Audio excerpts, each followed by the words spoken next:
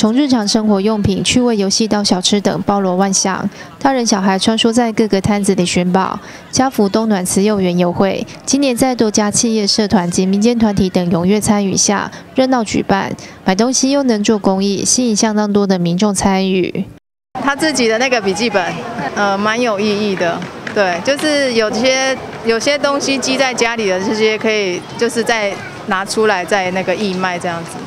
南投家福中心每年皆会在年底举办园游会，筹募明年度的辅助经费。除了提供正当休闲活动，也鼓舞贫困弱势家庭，期盼社会各界汇集爱心，协助扶幼工作顺利推展。多谢哦，真侪热心单位的赞助出纳哦，所以今日活动会用真圆满的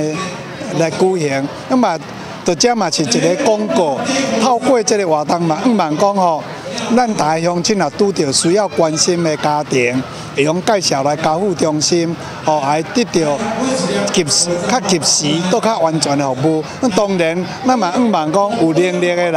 哦，会用来透过交付中心这个公益的平台，大家来关心咱地方，啊，咱地方都较温馨和乐安尼。主持人卖力拍卖各项义卖品，经济不景气，往往最容易被忽略的就是弱势公益团体。出席的议员们也是感谢所有参与的企业及社团等单位，还有民众们的共襄盛举，让爱心能够年年延续。即摆时机也拜拜啊吼，啊总是大家会当尽量吼，啊出钱出力吼来甲咱遮的弱势，尤其实咱家福中心吼，这家庭啊因真济遮的囡仔吼，也是讲呃家庭的需要，咱当地吼来给因帮忙。啊，伊嘛拢感到非常的温暖啦，啊，感到社会上吼啊有情有义吼有爱啊这样的啊，我感觉讲咱呢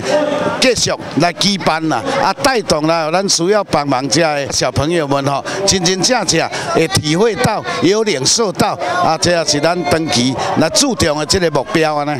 副议长潘一泉表示，因为有大家的付出，见证了社会温馨良善的一面，借由这场爱心圆游会。除了提供做爱心回馈社会的管道外，也让民众度过一个充实又有意义的一天。民意新闻洪以伦普里采访报道。